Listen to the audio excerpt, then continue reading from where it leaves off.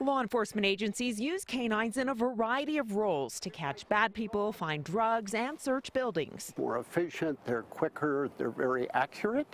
The Douglas County Sheriff's Office is about to get a brand new canine with a unique role. We are looking to purchase a therapy dog to work with first responders and Dan's wellness program. Dan Brite recently helped start the Sheriff's Office wellness program. He was shot in the line of duty trying to stop a gunman three years ago. Realizing the things that those first responders had to go through mentally, um, I knew that we needed to deploy some different tactics. The old school way, you know, the stoic culture of, you know, just suck it up or just deal with it isn't effective. In recent months, they've been borrowing South Metro Fire's therapy dogs and have found them to be extremely helpful. Lowering the stress and the anxiety and the blood pressure. So now the nonprofit Friends of Douglas County Canines is raising money and helping Dan find the perfect dog to be his new partner. Those people have PTSD, they have depression, they have stress. Dan has found the therapy dogs, people open up, people show up to meetings more, and Dan is a hero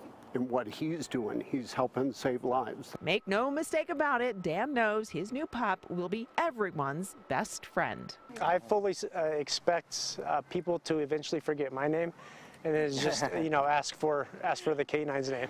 yeah. I expect that, which is perfectly fine because that's what he's there for.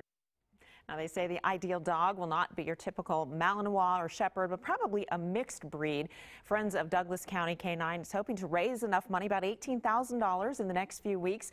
And they do have a fundraising gala on September 18th. You can find a link to that or to donate on our website, kdvr.com.